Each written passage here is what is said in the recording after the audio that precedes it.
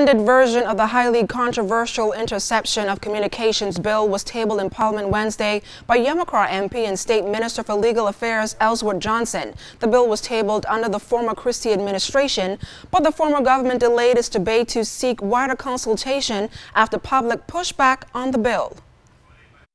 Mr. Speaker, you, you, would, you, would, you, would, you would agree that in the past we had an agency being run without legislation and that was the National Intelligence Unit uh, uh, Agency.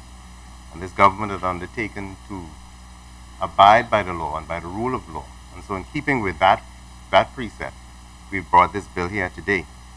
The Interception of Communications Bill.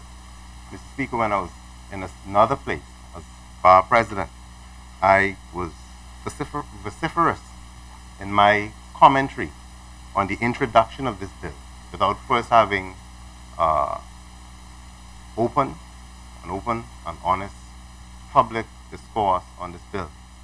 And I'm happy today that my leader and my party has now presented this bill with some alterations, hoping that at the end of the day, members of the public will have an opportunity to review this bill and assist the government in producing, in, in accordance with our constitutional duties, that is to make laws for the good for the good of the Bahamas.